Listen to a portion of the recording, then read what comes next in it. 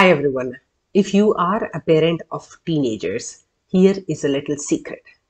There is a secret to how you can talk to your teens. The first thing is they absolutely hate eye contact. So there are two places that you can talk to them open heartedly. The first thing is cars, and the second one is in parks or any other outdoor spaces where you are just hanging out with them, where you don't have to sit in front of each other to have a conversation.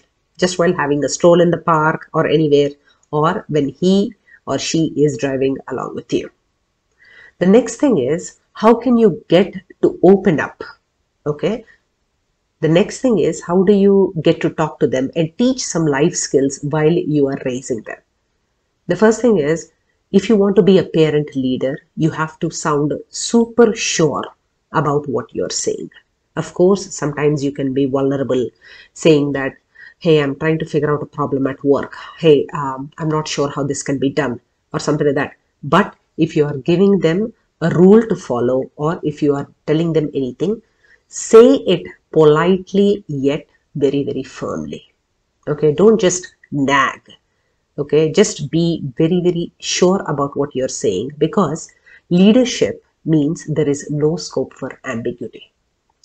So the next thing is give them options so that it feels like they also have a choice in their life.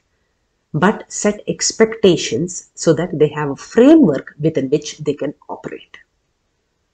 The next thing is be open to any kind of feedback because you know you are just playing it along right? You have never been uh, you're probably been a parent to a teenager before but every teen is different okay? So be open to any kind of feedback that they are giving and ask them what their alternative proposals might mean.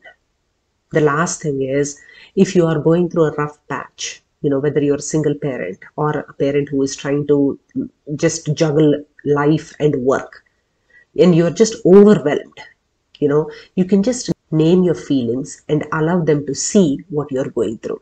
Of course depending on the age of the child so that you don't leave room for any confusion because they're always watching us. So good luck in talking to your teens. Bye